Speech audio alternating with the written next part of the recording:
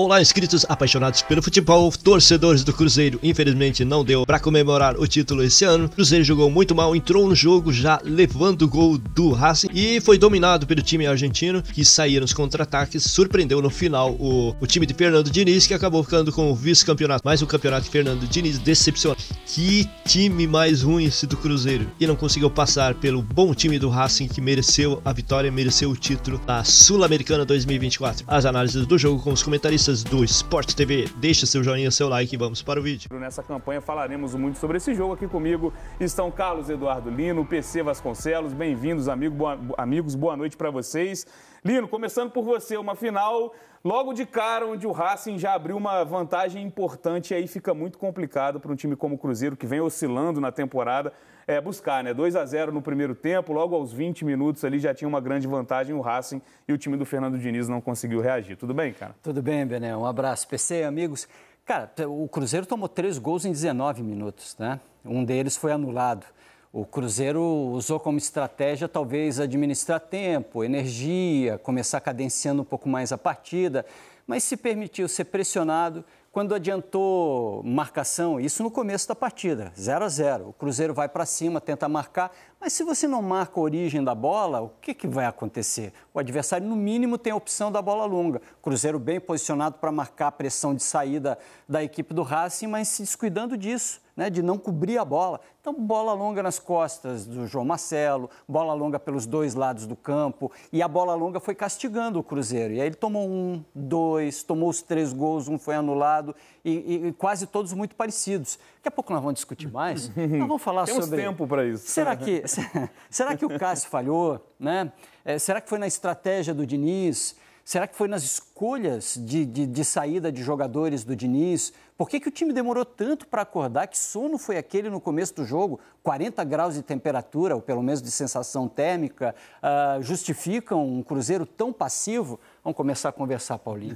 PC, boa noite para você, bem-vindo ao Troca. É muito disso, né? O primeiro gol, esse gol anulado que o Lino citou, sai antes dos três minutos de jogo Exato. e já chama muita atenção ali. O gol foi anulado por conta de uma posição irregular na origem da jogada, por poucos centímetros, Pouco inclusive, é, mas já chamou atenção ali como o autor do gol chegou sozinho na área, né? Como teve liberdade o time do Racing logo no começo do jogo. Tudo bem, cara? Tudo bem, Bené, Lino, quem nos acompanha. Toda final, uma final, ela não, não te permite é, descuidos. A impressão que o Cruzeiro passou no jogo de hoje foi a de um time que não entrou devidamente conectado é, com, com a voltagem que uma final exige. Talvez, enquanto eu assistia e via, como já lembrou o Lino aqui, os três gols do Racing, sendo que um anulado em 19 minutos de jogo, talvez possa ter contribuído aquela ideia equivocada, diga-se de passagem, é de que, ah, não, não é o Boca, não é o River, então é um time de segundo escalão da Argentina. Está ignorando a história.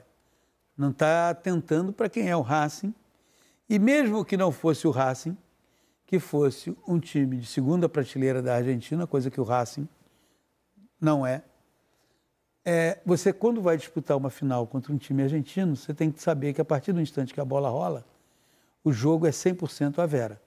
Ele não tem é, nenhuma concessão para uma dispersão mínima. E o Cruzeiro pagou muito caro pela dispersão. O Cruzeiro foi uma equipe dispersiva. Como que você entra para uma final jogando de forma dispersiva é, 25 minutos? Você está, ao ser dispersivo, você está jogando, é, botando no lixo a possibilidade de ter um equilíbrio no jogo. O Cruzeiro abriu mão de fazer um jogo equilibrado por causa da sua dispersão, o que permitiu ao Racing, quando olhou para o placar, opa, já está 2 a 0. E aí nós vamos administrar. E o Cruzeiro precisou começar a se reajustar, com o Wallace saindo com 29 minutos para a entrada do Lucas Silva. Enfim, é, nenhum jogo permite isso. Mas finais, e especialmente contra equipes argentinas, muito menos. E num jogo único, né? Um jogo único. Não tem dizer, volta. O Cruzeiro, a, a dispersão do Cruzeiro, com uma grande dose de apatia, né? talvez até provocada por essa dispersão. E aí, quando você pensa em se conectar, não é nem reconectar. O Cruzeiro, quando ele pensou em se conectar com o jogo, o primeiro tempo estava acabando.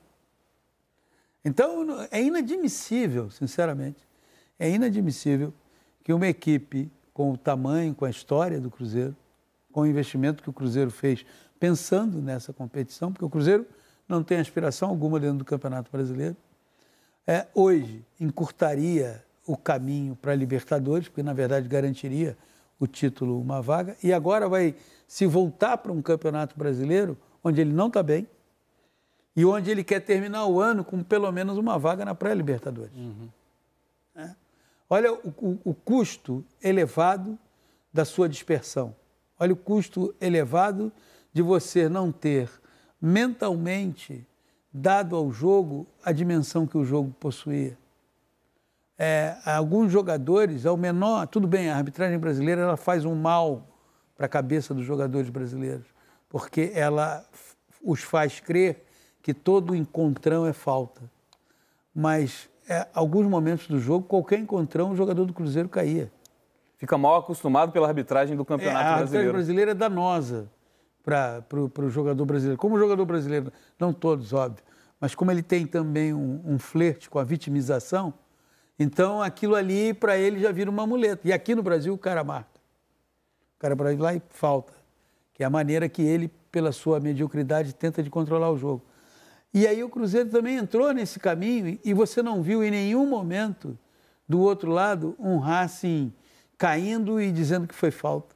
Competição, amigo, é competição se você não tiver um nível exacerbado de competição, você não vai lugar algum. Cruzeiro teve é, muito dessa derrota na conta do seu baixo nível de competição e da sua alta taxa de dispersão com o início do jogo.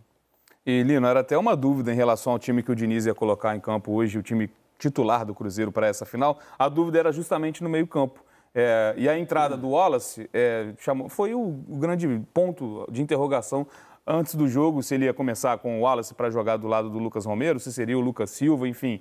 Ele tinha outras opções, como jogar o Barreal também, enfim, opções ele tinha é, para mexer no time. E aí ele percebe muito rapidamente que não funcionou e muda essa opção dele antes do intervalo. É até atípico a gente ver, é, até a forma como o jogador é substituído numa final logo aos 30 minutos, até antes disso. Um jogador no... que veio no pacote de Exato, reforço. ele veio como um dos grandes veio reforços da temporada. Olha, estamos trazendo o Wallace. Um titular, né? É, é exatamente. Está tá trazendo o Wallace. É mais um que vai qualificar o elenco. Não foi um, um jogador que estava lá e, de repente, é, e ficou à margem e estava sendo resgatado. Não presidente investiu é, nele e precisa botar em campo. Em determinado momento até cobrou para que, para que fosse titular, né? Não só ainda ele, como com antecessor, ainda com o Seabra, né? É. Então, e ele foi acertadamente substituído. Tá? Exato, esse é o ponto que eu, que eu quero tocar, porque é um começo muito ruim. Acho que o Cruzeiro como um todo tem um começo de jogo para esquecer. Assim. É uma final para o Cruzeiro esquecer, para o torcedor esquecer é, pela atuação do time. Mas o Wallace acho que destoou, ele chamou a atenção, muitos erros de passe,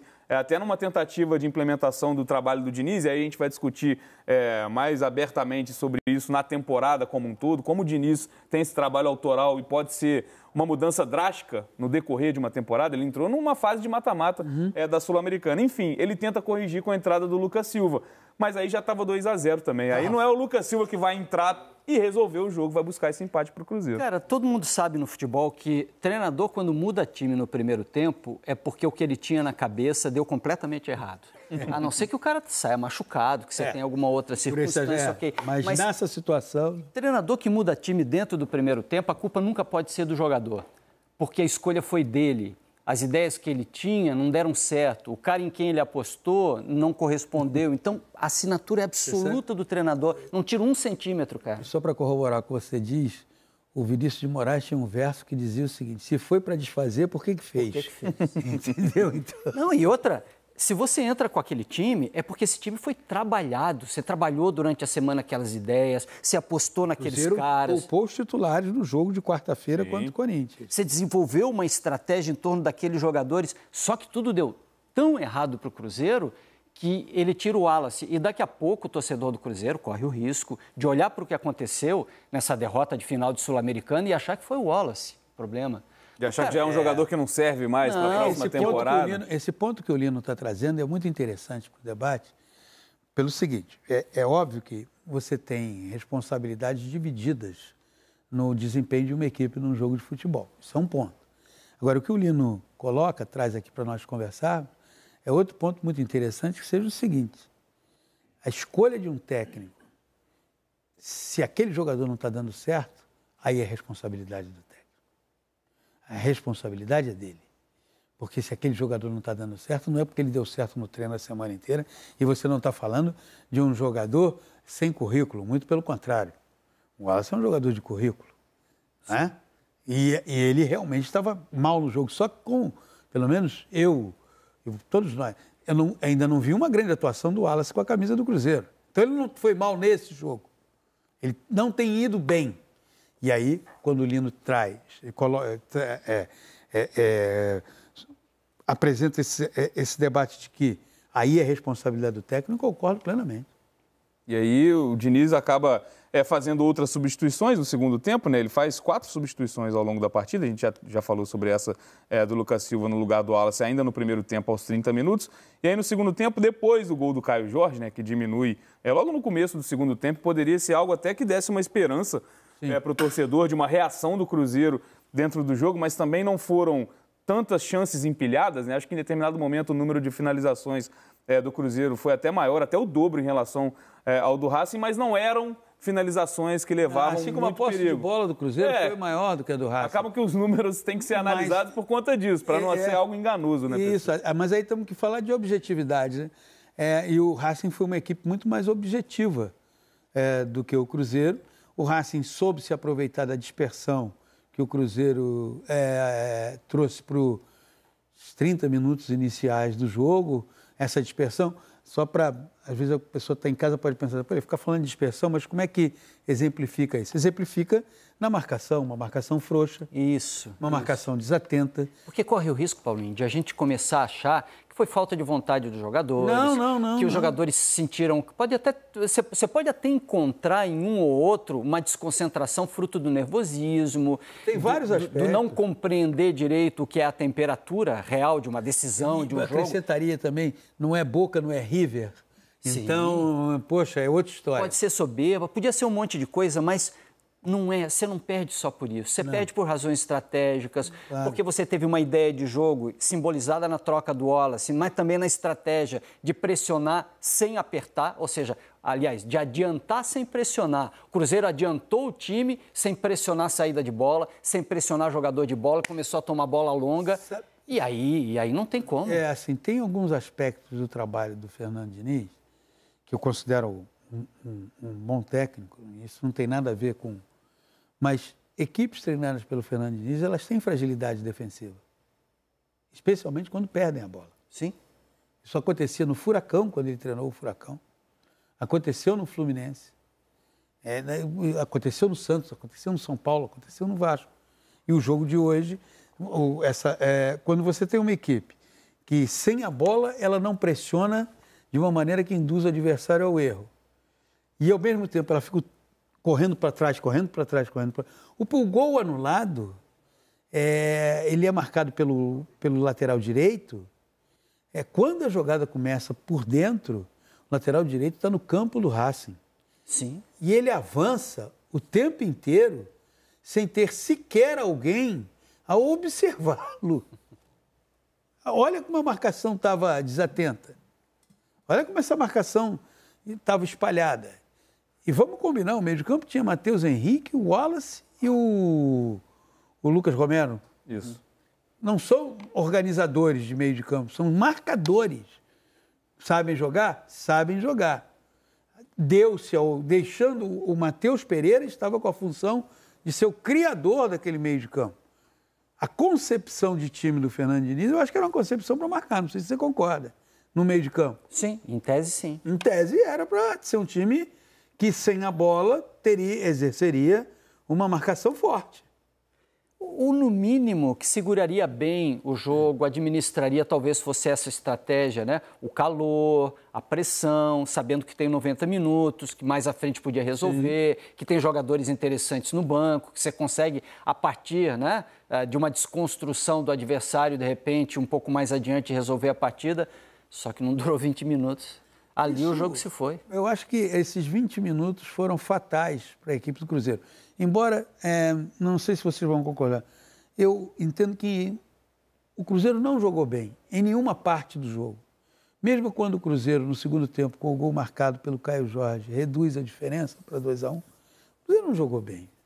O Racing teve as rédeas do jogo, não sei se. Sim, o fez, ah, é. fez o lance dois... do gol é muito fora é. da curva dentro do que foi o jogo. É, de repente é. acham uma jogada. O Matheus Pereira é. começa pelo meio, o Matheus Henrique também faz é. uma boa jogada pela esquerda e acha um cruzamento. Caio Jorge erra na primeira tentativa e faz um rebote. Acho que aquilo ali é um espasmo. Acho que o Cruzeiro poderia dar esperança depois disso, e até para complementar o que eu estava falando das substituições, o Diniz coloca o Lautaro Dias e o Barreal já com 33 minutos do segundo tempo, mas não existe essa é, esse time que vai em busca do empate e que acua o adversário. É, vai acumulando ali posse Exato. de bola, enfim. É, não foi. E acho que também, por um lado, que é o retrato do Cruzeiro dos últimos jogos. Acho que muito, muito da esperança do torcedor era que o Cruzeiro tivesse uma, uma virada de chave para jogar uma final. Porque é. os últimos jogos com o Diniz, o Diniz tem duas vitórias só no comando do Cruzeiro. Uma delas contra o Lanús, inclusive, é, na semifinal. Não é um time que vem desempenhando um futebol.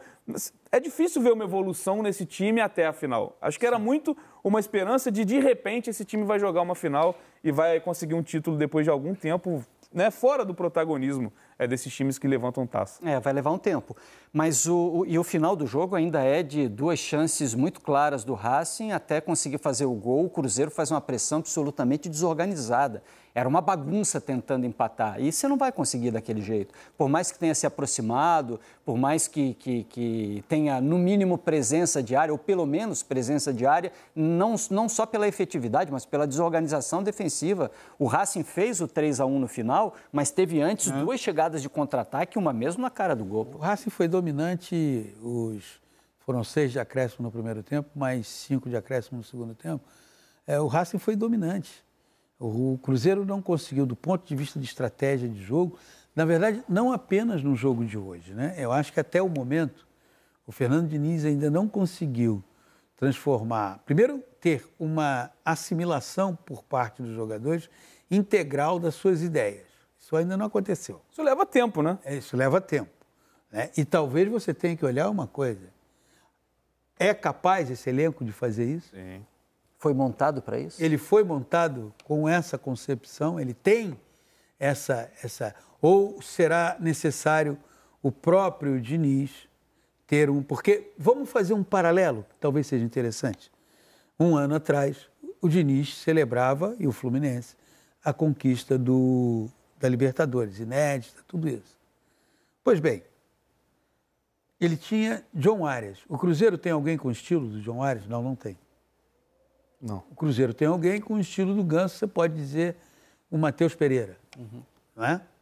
é? o Cruzeiro é, tem um centroavante capaz de prender a bola, fazer jogo de aproximação e, ao mesmo tempo, ser definidor, como foi o Cano no ano passado? Não, não tem.